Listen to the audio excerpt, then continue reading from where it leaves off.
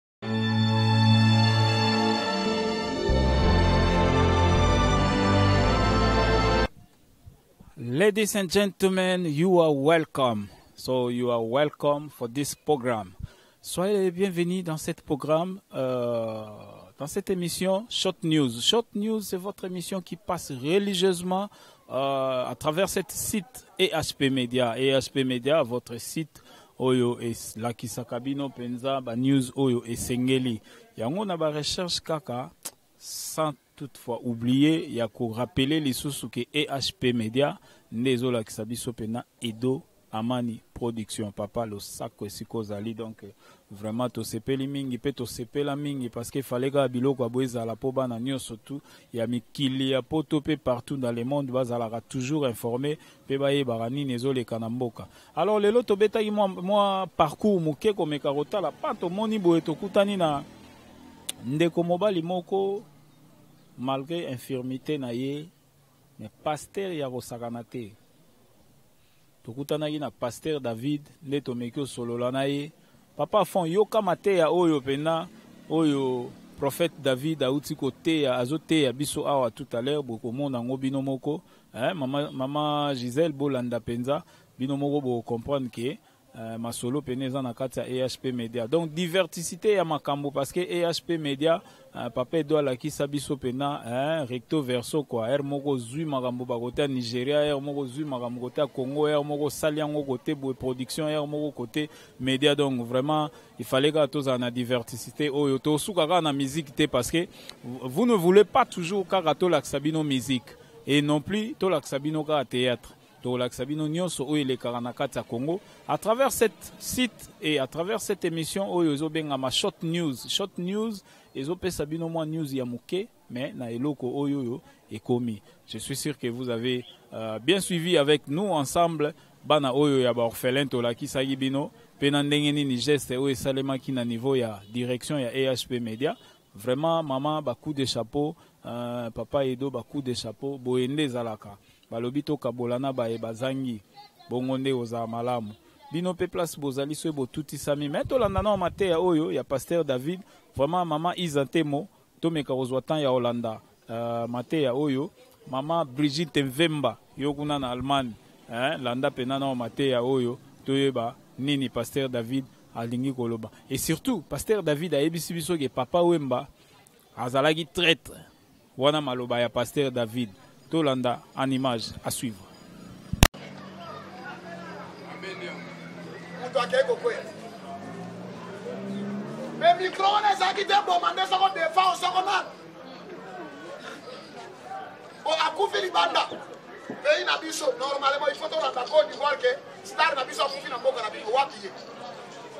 papa oyo bakufi deuxième personne Nase boko loba amen. Amen. Après la mort de Papa Wemba, nazo loba ke encore deux personnes batikali. Avant le 1er janvier boko pesa nga raison. Otia ba homme politique na monaki. Papa na biso banza mukala ya kufi. Moto amibale malumalu ya kufi. Moto amisato deuxième personnalité sima kizenga. Encore quatre. Soko oyebisi bango te bobondela bosambela baboyi. Yango nalobaki na bino ke mosali ya Nzambe ya solo azela te likambo ekoma nde aloba loba amen na bien un véritable prophète akomona danger alobi yango avant yango nalobi soko kongo na biso ekufi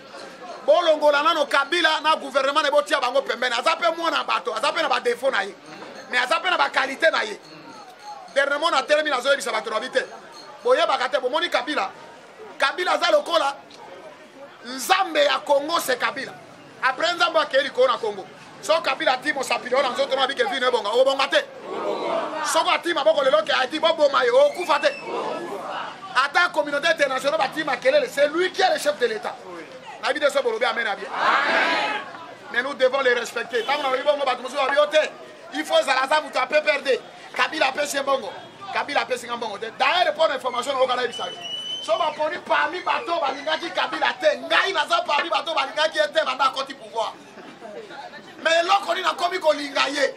mpe kabila akoti nga ntina makila pourkoi kabila alata natire ya yesu ata baofinga baoloba ye na bemba baopotana wa kabila nye bemba amoniki ayebi tro abimisa secret ne tout yo ozobunda na moto obimisa manzaka avant tisekedi ka moko ayoyo abimisi manzaka tu kabila gagne nani alekaka nani naotuna bino nani alekaka nani elingi nani alekaka nani o elingi oloba ke moto ya mayele eza oyo abatama parceke bolobi amena bien nalingi na prie mpo na bino papa filme ngai filme ngai filme ngai tika bana ngiringiri mpo boya koluka bilongi na bango filme nde nga nayoki amene te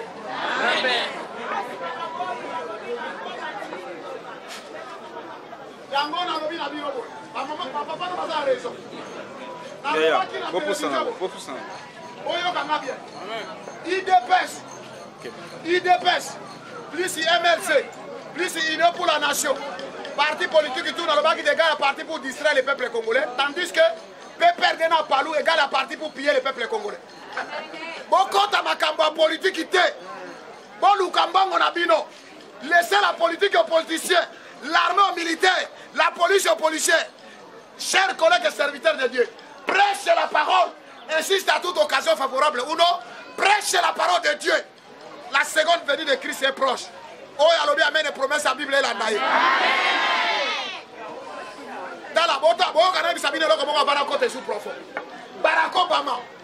aye kotinda lettre circulaire moko na afrique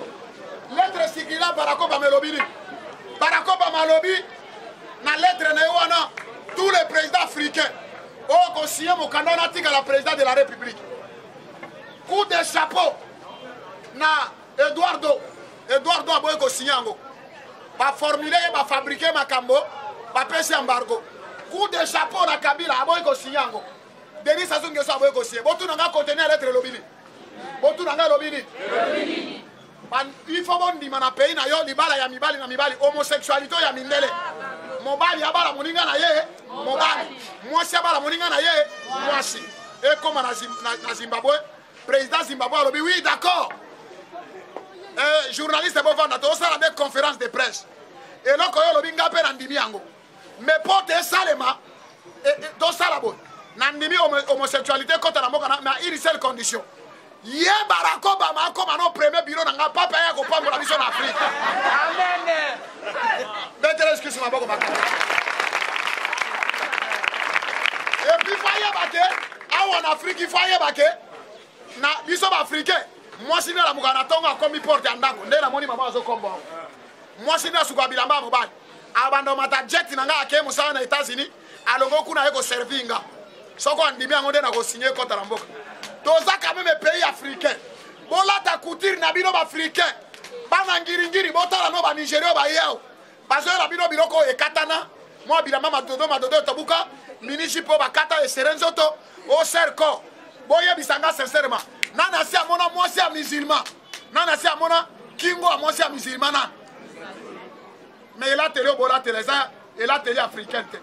bien aimé seconde veni ya christ ekomi pene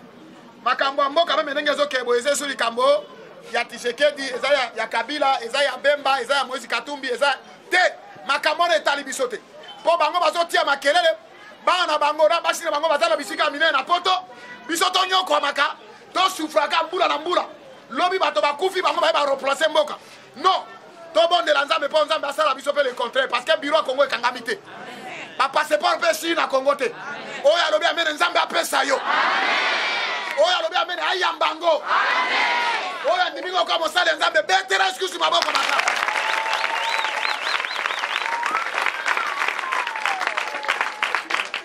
ngai nayebisaki bato Na lemba na yebisi bango ke nga ko critiquer mukuna te. Mukuna c'est mon père. Mais son abi parmi bato ba trahir Yesu na Congo. Mukuna komi na kati pourquoi? Azui makambo ya renaissance. Aleki na television. Yoka azoloba na TV nini? Bajogo ya renaissance. Bon, bah, eh bien. Mais un pasteur qui permet aux gens, bon, bah, eh bien. nini micro ya kati église ekomi couleur ya renaissance polo na kati église renaissance soki olobi yango bato ya renaissance batomboki nga naza moto ya deringi te moto ya renaissance te moto ya veclebe te moto ya mazembe te Moi, je suis congolais et fils de Dieu. Amen. Je continuerai à prêcher la parole. Amen. Un homme de Dieu ne peut jamais servir deux mètres à la fois. Kamata équipe wana pesa ngo mwana osinyo mukuna ou bien pesa musangani. Ate la parole de Dieu. Atika biloko wana bato ba bionga no critiquer. Na critiquer ete. Lelo so na komi na problème na ba Moïse Mbiye, ba ba ba Neema Sikatenda, po nga na lobi na bango polele. Soko église efungwami na ngiringiri. ngai soko nakufi bazwa mwana ngirigiri ye aremplace nga paster bazwa oyo azofilme aremplace paster bazwa oyo kuna nde aremplace me oyo eglize ekomi nga so nakufi mwana na ngai nde aremplace te wana ekomi société ya bato ekomi royaume de bakuba ekomi royaume de bangala royaume de baluba royaume de bakongo mpe mabonza eglize esipa maa paster aweli mabonza kuna ke otoka yango po ayeba ekoti combien mbongo yango ya tata no na mama na yo mabonza oyo bino botiaka ezalaka nde mbongo na bino bandimi na kati ya eglize oloba ame abioko namoni bolembi ngai nalingi sikoyo na bana boyokola mpe naikuwayo etikala bokita na se otanga se epetisa Je vais prier maintenant.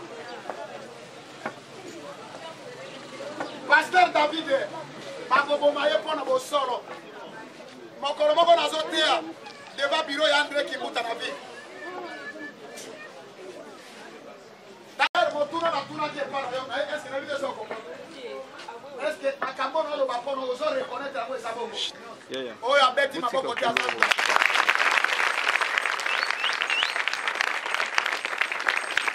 nga nayebi ye te natikaka komona ye te peut-être ye amona nga na balabala ou bien amona nga na télévision ese nga no toyebani je l'ai jamais vu epuis nga ne soko toyebani tosala sembla liboso na bino tika malédiction na bino tu botemi ayelanda vi na nga oh, bolobi ame te nga nayebi ye te papa wana apusana pembeni ya ndeko ya mobali oyo oh, miso na ngano ekutani telema place wana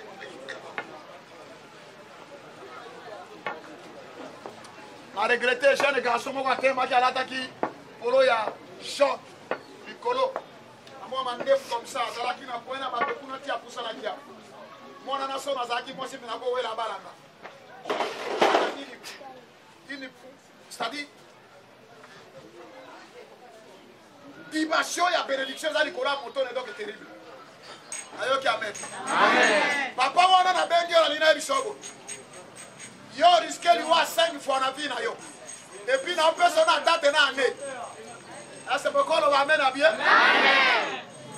kolongwa 1971 talanga na miso ya papa kolongwa 1971 toya kokoma na 1900 92 ozalaki motu na mboka oyo obokoli bato otangisi bato okolisi bato obalisi me eloko ezoboma yo motema malamu na yo mpe eloko mpe naokope te motu nyonso osala ye malamu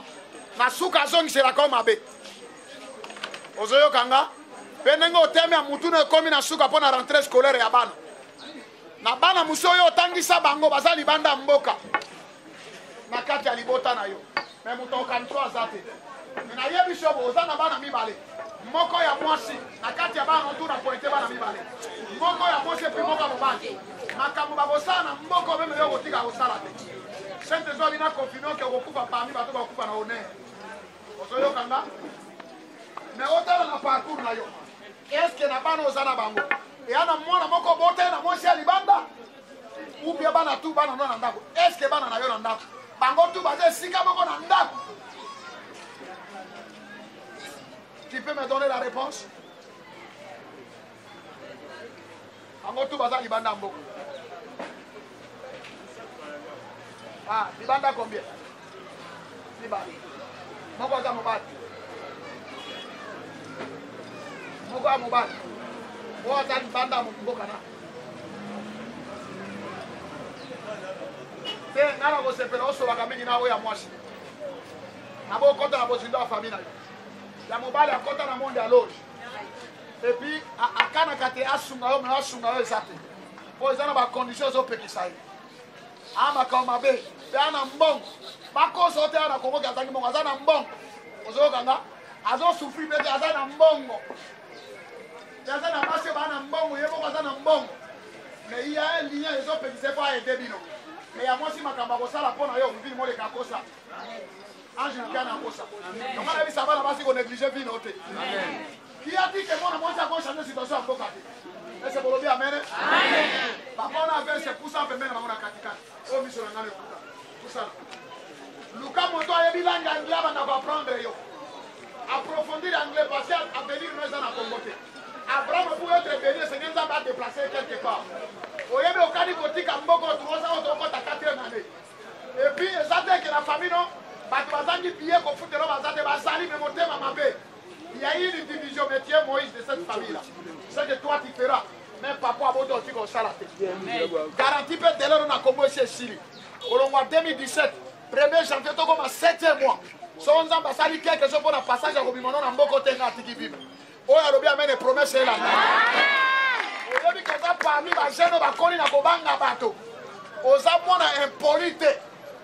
oza mpe mwana mobali oyo akola alinga oyo alinga te oza na natire na yo soki olingi mwasi moko kaka mwasi wana moko soki mpe oboyi oboyi epuis okozala parmi les barons de kinshasa soki oluki vino na biro okozwa te vi na yo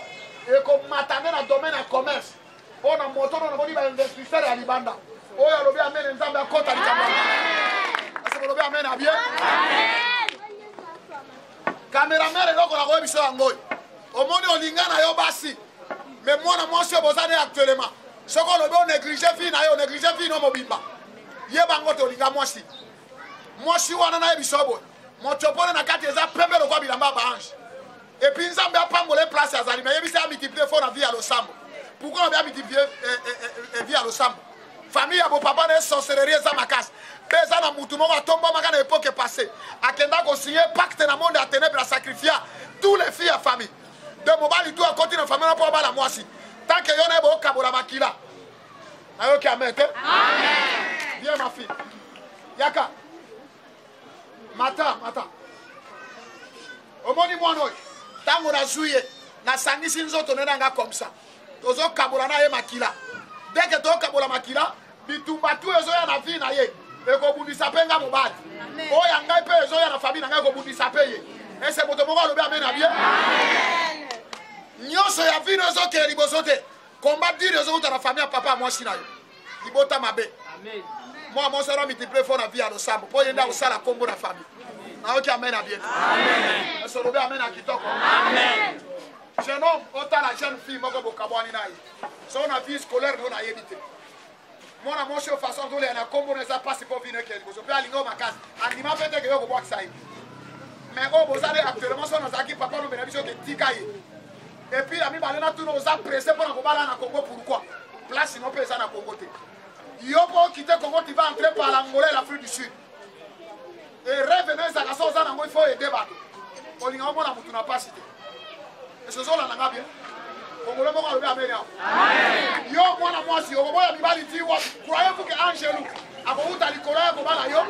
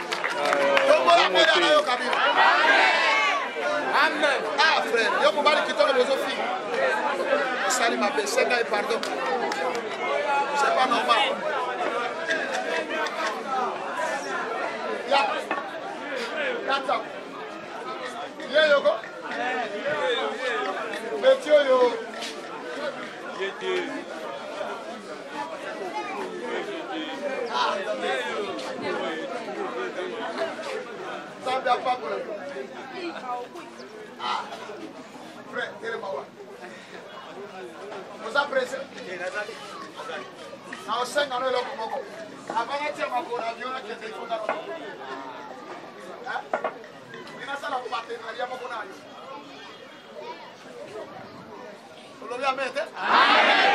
oyebi natambola na nga mwana mobali oyo nasimbi ye ezala pays d'afrique pays d'europe partout dans le monde où j'ai passé aza lokola 17e homme je dis 17e homme oyo namoni mwana mobali na etoile ya fleur rose na motu oyo namoni likolo ya mwana azosakana na ngoi Oyo oyo abomela odio. Ayoki amen. Amen. Etoile ya frère Rose ezalaka basi oyo bakabi ba chef de l'État, ba ministre, ba député, bato ya likolo mpe par jour akoza aderange ata na 10 mibali. Partout okoleka ifo baderange yo. Ifo ozala motema mosiko. Etoile wana frère Rose namona yango na motu ya genome oyo. namonaki ye kuna ti apusani yango bon ele mona luke na mwana nabi ah, petuani ake pourkoi mpana prie petuani fo ayamba lipamboli toi tu feras des grandes choses dans ce pays et je vous le confirme on ayoki ame kuna te nalobi ozela ntina suka tu auras mon numéro privé atako nakopesa bato nimero me ofi ozwa nimero na nga prive ava nakende nayoki amen yaya yaka bana bozonga no nsima botikela nga place oyo ko sala ye mpo ozonga nsima kotola bato bakita mama sala na bino misato koleka mama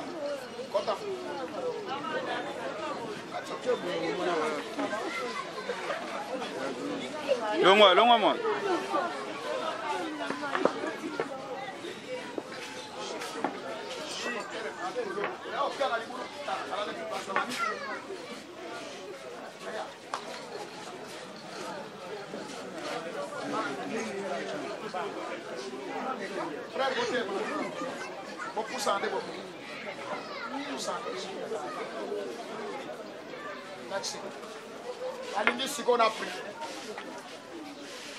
mama bible elobi baloba mpono me bakuto na likambo wana te ozoyoka nga liwa oyo moto akokɔta na mabele oriske yango 3 fois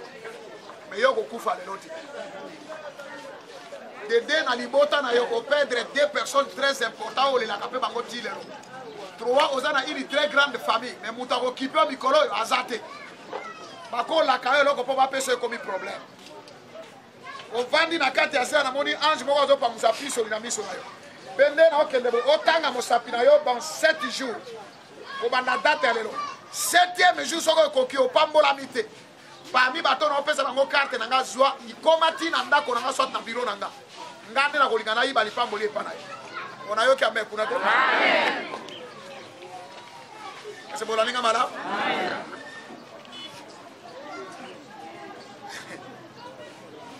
pabolama mama oyo akokaka na ye makambo te akokaka makambo ata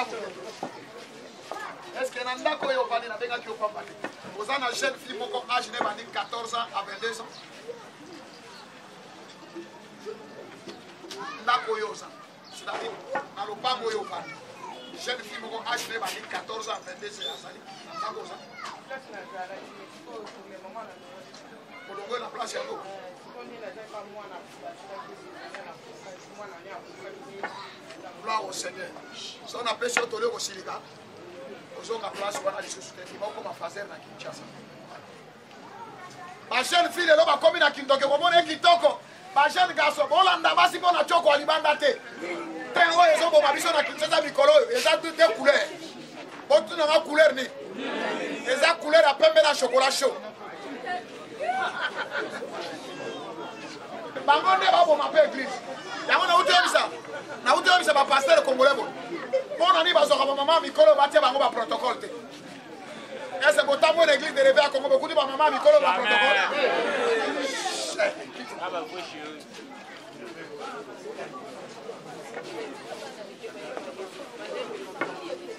malembe bana mike toyoka nalingi sikoyo na boni mwana moke nyonso atelemi awa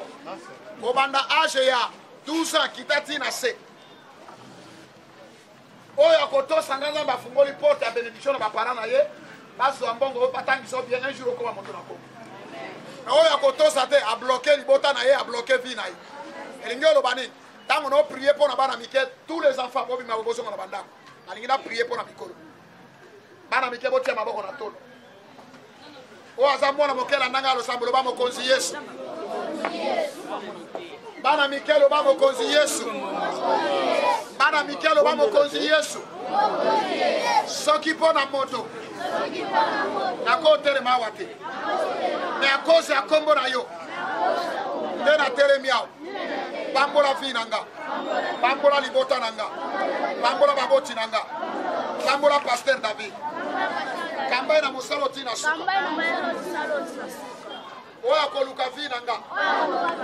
aza na echec total au nom de jésus disons tous amen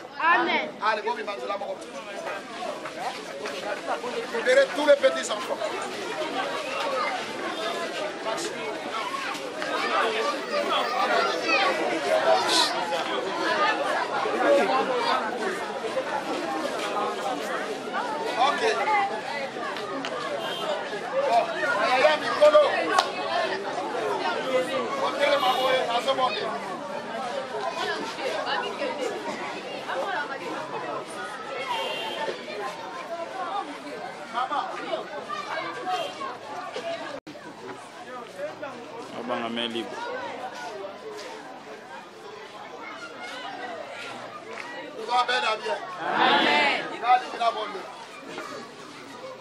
soko chauffeur na ngai aza wana peut-être ozoyoka nga chauffeur soko aza wana ou bien pasteur ya bakubi soko aza quelque part naza besoin ya 20 carte bopesanga selema 20 carte 20 carte sivo enabondela o nyonso ateme na kondima nalaki bino bo avant tokóma le 1er janvier soko nano yo opambwama te avant 18 heures ya lelo ebeta balobi avant 18 heures ya lelo ebeta ese balobi amen tala boka nayebisa bino sekre moko soki simoni kimbangu azalaki poso mondele mbele mokili mobimba bandima ye me lokola azalaki po noir me bondima ye eza te me ngai nayebisi bino eloko moko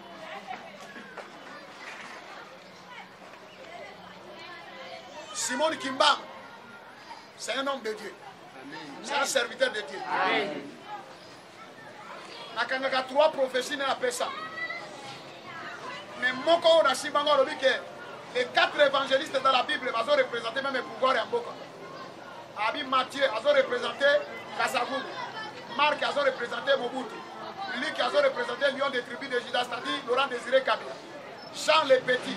azo representer Joseph Kabila mpe akoti na kodemontre yango soki otangi histoire wana moto na ekofungwama soki ota ezalaki mpe na explike bino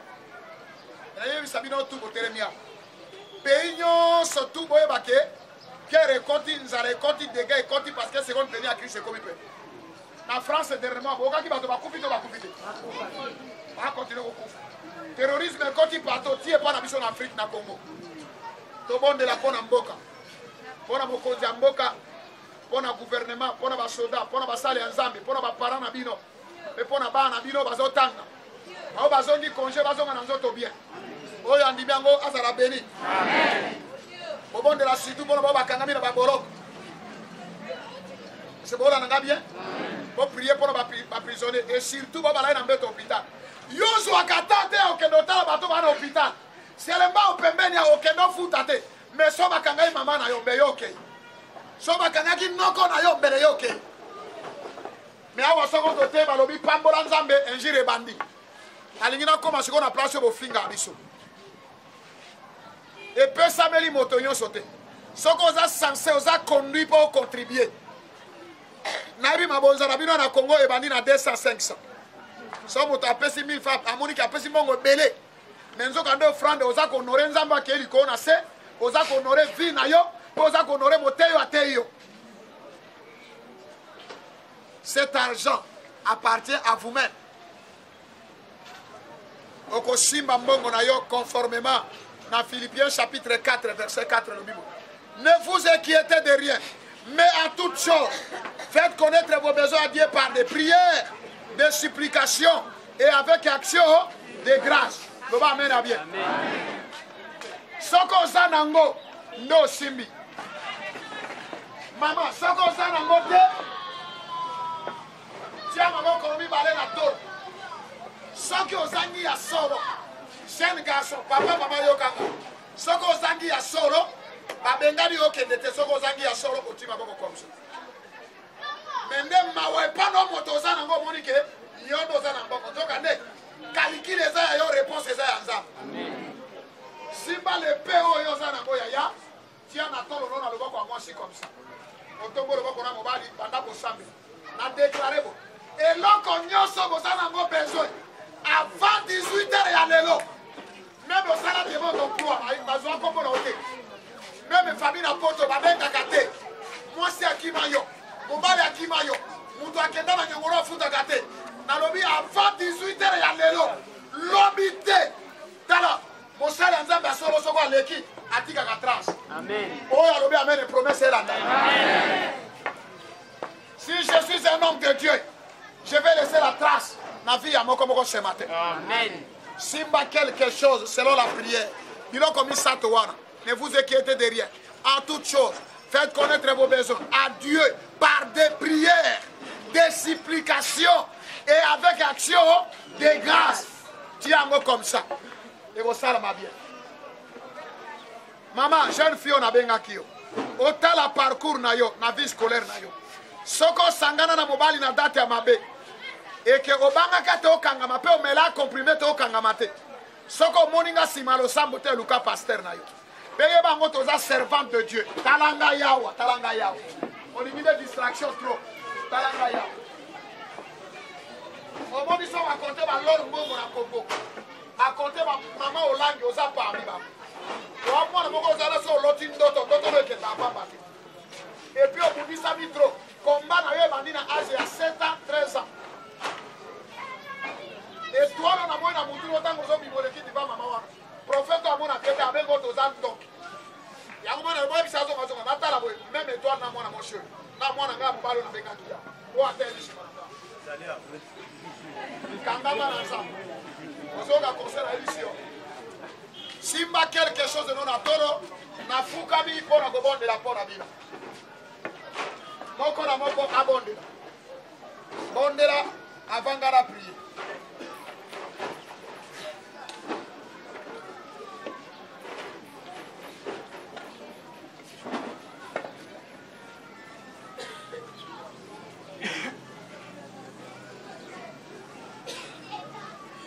bino bato nyonso boza kofilme na batelefone eza permis te image na ngai eleka na télévision sans ordre na nga mon image ça coûte trop cher fais en aval na nga okomi na bureau na peso accès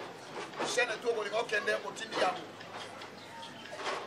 fungola maboko na yo na tolo tia na tolo bondela yo moto oza nango tia loboko ya mwasi na tolo na mbongo lokomisa oti loboko fungola loboko boye banda kosambela bien yo moto ozangi vraiment ke sincèrement devant dieu oza nango te tia maboko mibale comme ça nzambe ayebi yo e nzambe apambola motuka mpo na mbongo te bondela bondela bondela bien mpe avant na clôture oyo oza mosika na pembeni partout tia matoi pusana bondela elongo moko na biso mama to ozokengela mesa na yo kuna bondela na baninga elongo tokomi na momo moko oyo eza rose eyo momo kuna osakola wa saint esprit abina matoi na nga awuti koyungula bato ya mabe babima bato ya mabe tu babimi baoyo batikali baza ya nzambe e au moment una osakola bato ya biro nde bayaka mibale moko atikali ya moko adeplace oye na condition ya mabe fo esprit nsima nango bondela nzambe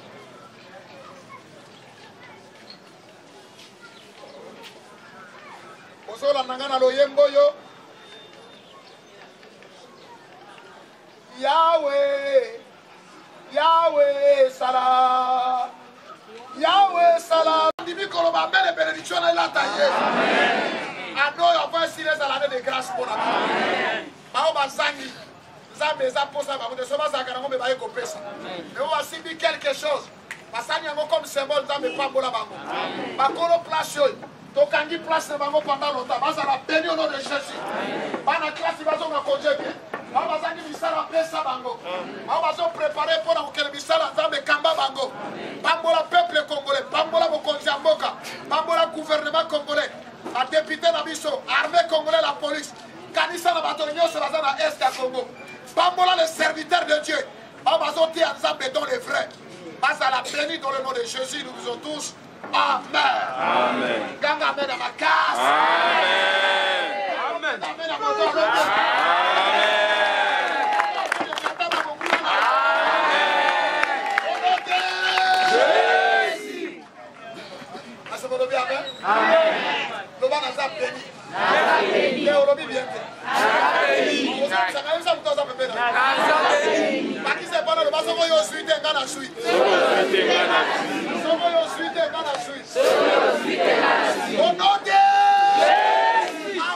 Pas 18 heures ya lelo. Nalobi no ata bakanga na singa ngo ya ndenge ni tu es libéré. Kanga makasi loba je suis libéré. Je suis libéré.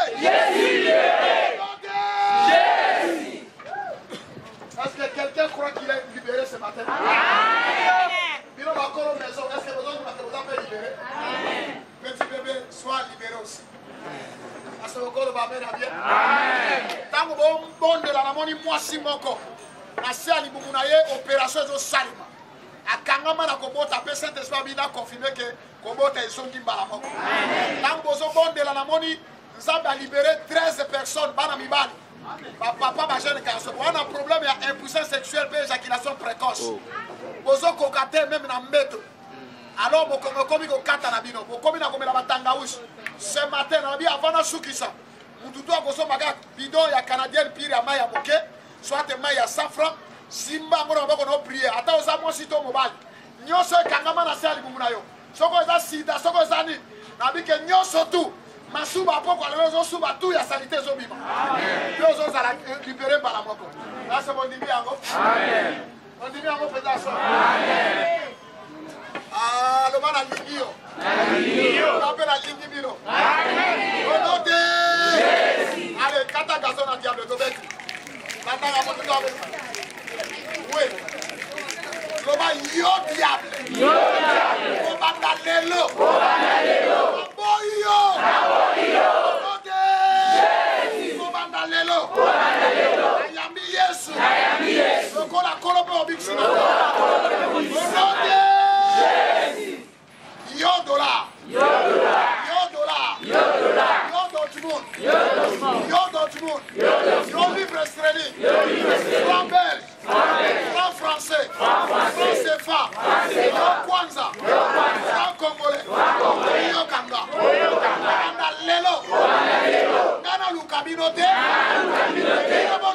kata yango naza bezo nango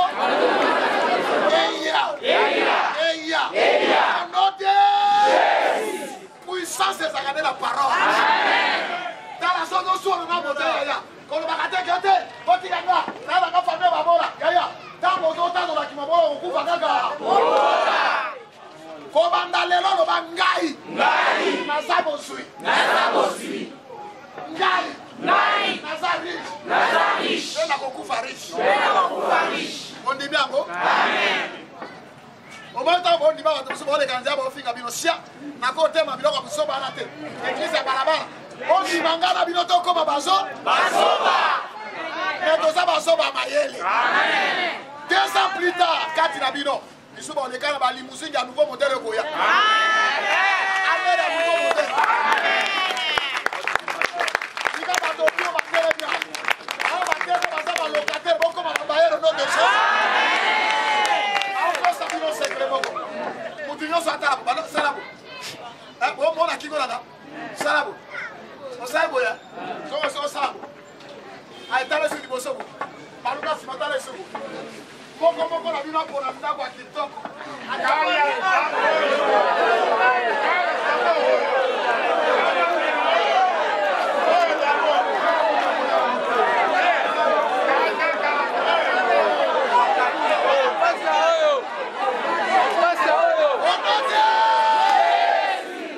otunaka boni yaneme atunaka bie mpo na nini omoni bandako botii mosapi na bino matisa ya boko likolo landaka maloba oyo nakondima olobi loba moto aza pembeni omoni bandako wana omoni bandako na lakisi yo ya bango te batongeli ndenga bana na ye bakotekela nga okomo oporte okote ese bondibi yango te eyo so omoni moninga otonga sepela azotongela nde yo so eza mbongo ya nzela mabe aokufa alobi nayo bana bakoma oswana eyo abimi na ngambo kuna ope bonga mpe na bimi oyo bakele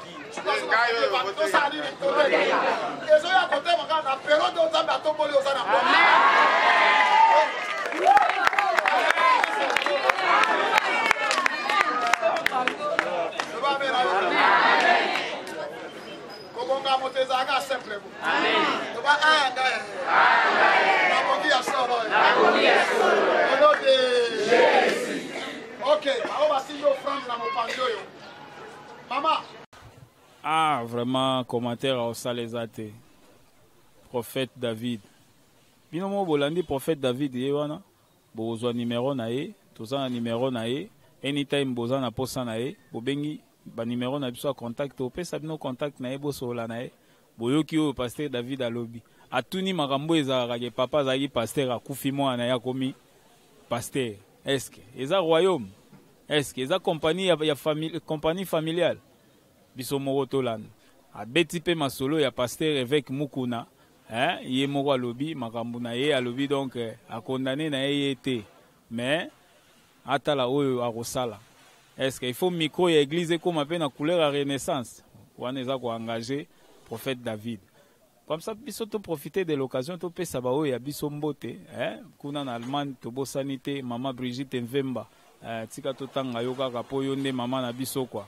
mama brigitte mvemba mbote ebele kuna na allemagne topesi mama isa temo eh? fondation aide nous tozosungama kaka na fondation mpo sho eza te euh, choix eza te donc fondation aide nous euh, ba action ya danger ezoya kala te donc bino moko bolanda ngo kaka awa na kati ya ehp media papa na biso edo amani wana kutu ya kozangisa eyalaka te wana donc eh, ya libela mpenza kole sere eh, papa na bana na ye kua famille amani tout topesi bino mbote eh, mariana feze amani loni bambote ya trop chancy amani euh, sama sama zala zala ok topesi tali botalima na belgique mbote topesi clara de bruxelles topesi yo mbote topesi kadi chikala mbote eh? mama na versi mama na janeli bambote ya trop sans oublier angela Angela la petite fille la petite Angela ok tomonani mbala nsima à suivre